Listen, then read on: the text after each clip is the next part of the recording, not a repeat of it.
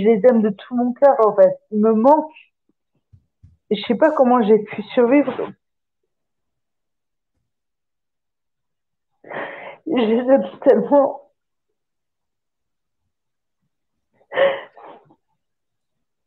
Oui, je suis désolé pour toi. Effectivement, c'est très dur. Comme, Ça fait 4-5 ans que je les ai pas embrassés. Mamma mia.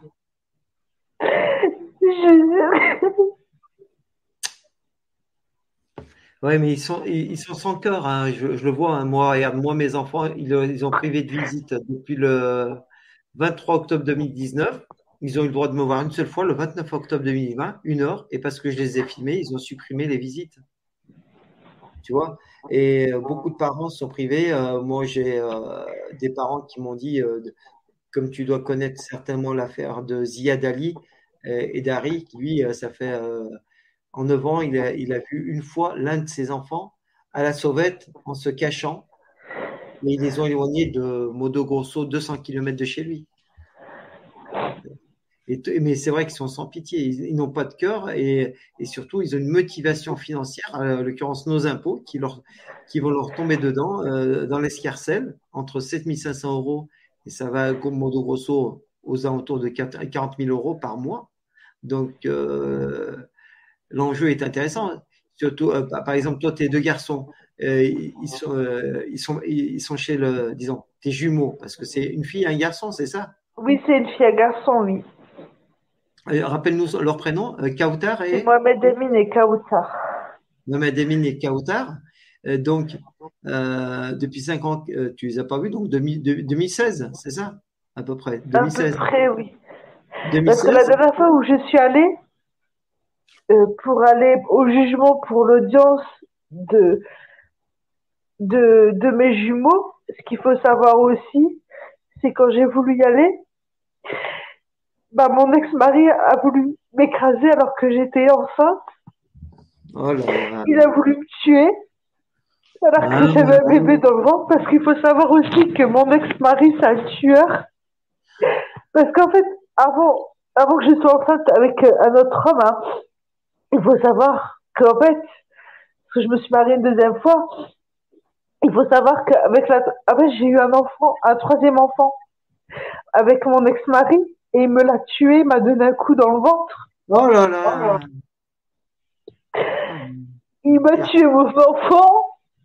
Oh et là, quand j'étais enceinte et que je voulais aller à l'audience pour euh, porter ça contre lui, tout ça, pour montrer que oh c'est pas moi qui étais violente avec les enfants, il a, fait, il a failli le faire aussi avec Noam, qui est placé aujourd'hui.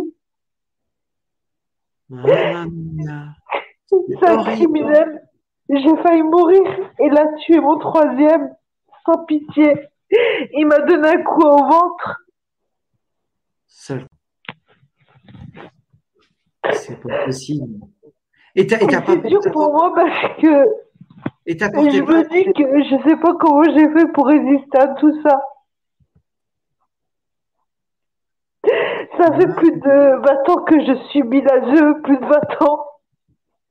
Mais et, tu sais quoi? Je vais te dire, je vais te donner le, un, un, bon moyen déjà. Ce que tu vas faire, c'est que tu vas récupérer ton dossier qui se trouve auprès de l'ASE, ton dossier intégral tes hospitalisations, est-ce qu'on t'a administré des drogues euh, psychotropes, genre Zyprexa, euh, Tertian, Risperdal, pour te faire accepter ton placement?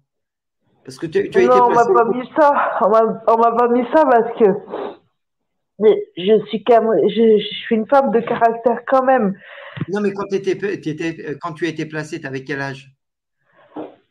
J'avais. Euh,